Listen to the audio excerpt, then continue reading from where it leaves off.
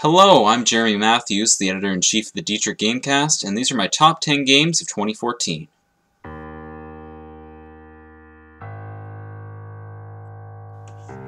It's rare that a video game is able to turn its antagonists into charming and lovable characters, but You Are Being Hunted does just that. Its gang of twee British robots form the foundation for an atmospheric, intense, yet strangely tranquil open-world adventure.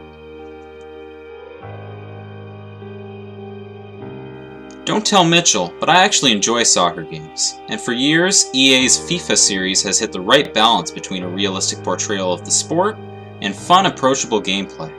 This year's entry is no exception, and although it isn't a paradigm shift in the series, FIFA 15 makes enough improvements to the formula to be truly compelling. Those of you who have been following the indie game scene over the past couple of years have no doubt heard about Johann Sebastian Joust, a simple PlayStation Move party game which has captivated the enthusiast press. That's why it is so stunning to me that it was my least favorite part of this collection of simple, yet perfectly balanced multiplayer minigames. Sports Friends might be light on content, but it provided some of my top multiplayer moments of 2014.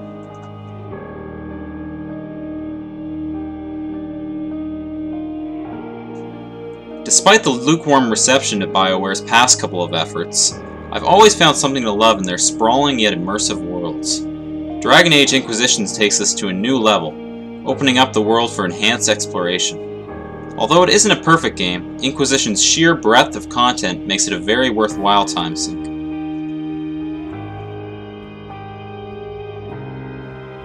Absurdist humor is back in a big way in video games this year, and no game took its absurdity to the same levels as Jazzpunk. The game is a non-stop barrage of brazen non-sequiturs, which, in the game's finest moments, extend even into changes in the gameplay style. You don't really do a whole lot in Jazzpunk, but it sure does a lot to you, and it's the funniest game I played this year.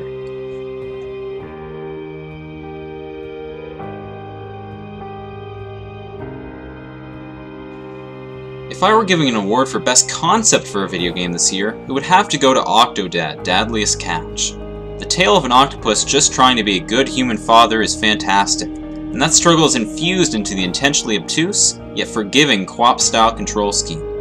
I would have liked a bit more content out of Octodad, but that's mainly because I enjoyed the content there was so much.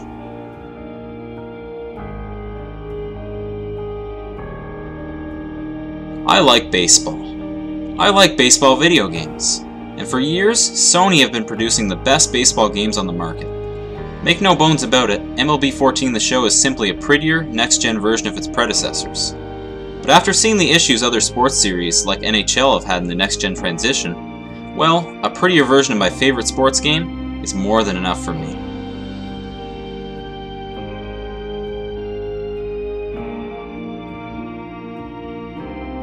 Far Cry 3 was awesome, but Far Cry 4 is better.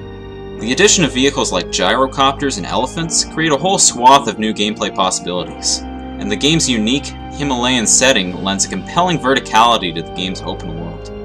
In a year where many big-budget shooters failed to establish themselves, Far Cry 4 stands alone as a fantastic, refined shooter experience.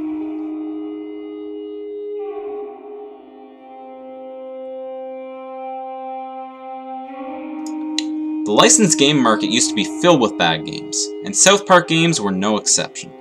That's why it makes me so happy to say this. South Park The Stick of Truth is great. It has a fun RPG combat system, and great variety in level design, quests, and enemy encounters. But more importantly, it captures the essence of the show perfectly. It looks just like the show, and the humor follows suit with some hilarious moments. It's been a long wait, but the great South Park game we've been waiting for has finally arrived.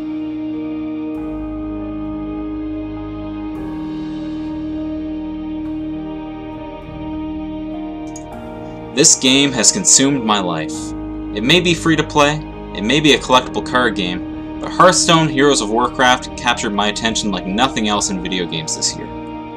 I don't even have an attachment to the Warcraft series, but the gameplay balance here is perfect, and the understated yet compelling progression structures make it a simply irresistible gaming experience.